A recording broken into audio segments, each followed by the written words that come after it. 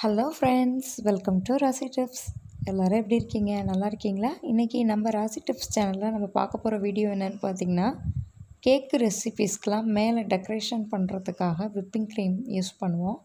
அந்த விப்பிங் க்ரீமை எப்படி நம்ம ரொம்ப ஈஸியாக வீட்டிலே ரெடி பண்ணுறதுங்கிறத பார்க்க போகிறோம் இதுக்காக நம்ம முட்டை பீட்டர்லாம் யூஸ் பண்ணல. ரொம்ப ஆரோக்கியமான முறையில் தான் இந்த க்ரீம் நான் ரெடி பண்ணியிருக்கேன். வாங்க இப்போ இந்த க்ரீம் எப்படி ரெடி பண்ணுறதுங்கிறத பார்க்கலாம். வீடியோவை ஸ்கிப் பண்ணாமல் மிஸ் பண்ணாமல் பாருங்கள் இப்போ இந்த க்ரீம் செய்கிறதுக்காக நான் எடுத்திருக்க பொருள் என்னென்னு பார்த்தீங்கன்னா பட்டர் அதுவும் அன்சால்ட்டட் பட்டர் கேட்டு வாங்கிக்கோங்க.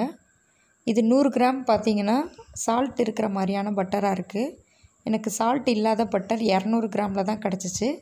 ஆனால் நமக்கு தேவைப்படுற அளவு பார்த்திங்கன்னா நூறு கிராம் அளவு போதும். இப்போ நம்ம இதை ரூம் டெம்பரேச்சரில் வச்சு தான் நான் எடுத்திருக்கேன். இது இரநூறு கிராம் இருக்கிறனால இதில் சரி பாதியாக எடுத்து இதில் உள்ள நூறு கிராம் மட்டும் நம்ம எடுத்துக்கலாம். அதுக்காக நான் ஒரு பவுல் எடுத்திருக்கேன். அதில் இந்த நூறு கிராம் அளவுக்கு சால்ட்டே இல்லாத பட்டர் எடுத்துக்கலாம். நம்ம வீட்டில் இந்த க்ரீம் செய்கிறனால பட்டர் போட்டு செய்யலாம். குழந்தைங்கள்லாம் சாப்பிடும் போது அவங்களுக்கு எந்த சைட் எஃபெக்ட்டும் பண்ணாமல் உடம்புக்கு ரொம்ப ஆரோக்கியமானதாக இருக்கும். இதுவே கடையிலலாம் செய்கிறது பார்த்திங்கன்னா டால்ட்டா வச்சு யூஸ் பண்ணுவாங்க. அது உடம்புக்கு ரொம்ப கெடுதல்.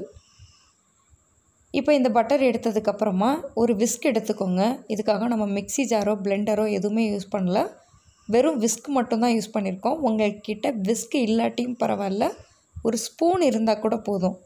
ஸ்பூன் வச்சுட்டு நல்லா எந்த அளவுக்கு இதை நல்லா மிக்ஸ் பண்ண முடியுமோ அந்த அளவுக்கு நல்லா மிக்ஸ் பண்ணிகிட்டே இருங்க.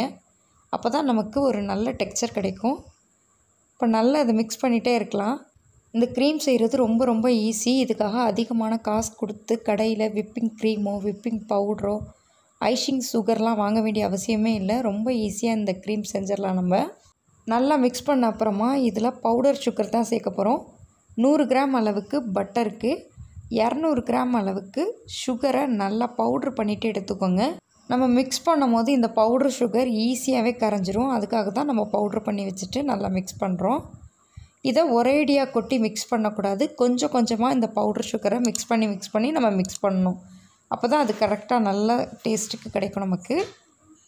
இப்போ பாருங்கள் நான் நெக்ஸ்ட் டைம் கொஞ்சமாக கொட்டுறேன். இதையும் நல்லா மிக்ஸ் பண்ணிவிட்டு எடுத்துக்கலாம். இதே மாதிரி நம்ம எடுத்துருக்கிற அந்த இரநூறு கிராம் சுகர் பவுடரை கொஞ்சம் கொஞ்சமாக சேர்த்து சேர்த்து நல்லா மிக்ஸ் பண்ணணும். எந்த அளவுக்கு மிக்ஸ் பண்ணுறோமோ அந்த அளவுக்கு அந்த க்ரீம் டெக்ஸ்சர் நல்லா வரும். இரநூறு கிராமுக்கு எடுத்திருக்க நான் பவுடர் சுகரை நல்லா மிக்ஸ் பண்ணிட்டேன். இப்போ இதோட நீங்கள் இந்த ப்ராசஸ் போதும்னு நினச்சிங்கன்னா இதோட நீங்கள் ஸ்டாப் பண்ணிக்கலாம். இல்லை இந்த க்ரீமில் நல்ல ஒரு ஃப்ளேவர் இருந்தால் நல்லாயிருக்குன்னு ஃபீல் பண்ணிங்கன்னா இதில் கொஞ்சமாக நம்ம வெண்ணிலா எசன்ஸ் சேர்த்துக்கலாம். வெண்ணிலா எசன்ஸ் சேர்க்கும் போது ரொம்ப நிறையா சேர்த்துடக்கூடாது அது ரொம்ப திகட்டுற மாதிரி ஆயிரும். கொஞ்சமாக ஒரு கால் டீஸ்பூன் அளவுக்கு சேர்த்தா போதும். அதுவே ஒரு நல்ல ஃப்ளேவர் கிடைக்கும். இந்த க்ரீம் செஞ்சதுக்கப்புறமா நம்ம கவனிக்க வேண்டிய விஷயம் முக்கியமான விஷயம்னு சொன்னால் என்னென்னு பார்த்தீங்கன்னா இந்த க்ரீமை நீங்கள் வெளியில் வச்சிடவே கூடாது. வச்சிட்டிங்கன்னா க்ரீம் ஸ்பாயில் ஆகிடும் அதுக்காக இந்த நம்ம ரெடி பண்ணி வச்சுருக்கிற இந்த க்ரீமை கேக் செஞ்சு முடிக்கிற வரைக்கும் நீங்கள் ஃப்ரிட்ஜில் வச்சுருங்க. ஃப்ரிட்ஜில் வச்சிட்டோம்னா க்ரீம் நல்லா கூலிங் ஆகி நல்லா கெட்டி ஆயிரும். அதுக்கப்புறமா நம்ம கேக் செஞ்சு முடிக்கிற வரைக்கும் நம்ம இதை வெளியில் எடுக்க வேணாம். கேக்குக்கு எப்போ நம்ம டெக்கரேஷன் பண்ண போகிறோமோ அதுக்கு கொஞ்சம் நேரத்துக்கு முன்னாடி மட்டும் க்ரீமை வெளியில் எடுத்து வச்சுருங்க. அப்போ அது நல்ல ரூம் டெம்பரேச்சருக்கு வந்திருக்கும். அதுக்கப்புறமா நம்ம டெக்கரேஷன் பண்ண ஆரம்பிக்கலாம். க்ரீமை ஃப்ரிட்ஜில் வைக்கிறது உங்களுக்கு இஷ்டம் இல்லாட்டி நீங்கள் கேக் செஞ்சு முடித்ததுக்கப்புறமா நீங்கள் கேக்குக்கு டெக்கரேஷன் பண்ணுறதுக்கு கொஞ்ச நேரத்துக்கு முன்னாடி இந்த ப்ராசஸ் பண்ணால் போதும். க்ரீம் உங்களுக்கு ரொம்ப க்ரீமியாக நல்லா ரெடி ஆயிரும். அதுக்கப்புறமா நம்ம கேக்குக்கு டெக்கரேஷன் பண்ண ஆரம்பிக்கலாம். ஃப்ரெண்ட்ஸ் நம்ம ராசி டிப்ஸ் சேனலில் நெக்ஸ்ட் வீடியோ நான் பிளாக் ஃபாரஸ்ட் கேக் வீடியோ தான் நான் அப்லோட் பண்ணலான் இருக்கேன். இன்றைக்கி உங்களோட ஷேர் பண்ணிக்கிட்ட இந்த வீடியோ உங்கள் எல்லாருக்கும் ரொம்பவே யூஸ்ஃபுல்லாக இருக்கும்னு நினைக்கிறேன்.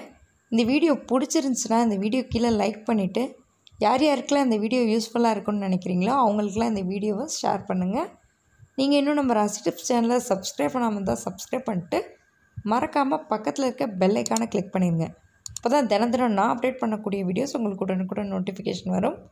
Thank you for watching. Thank you friends.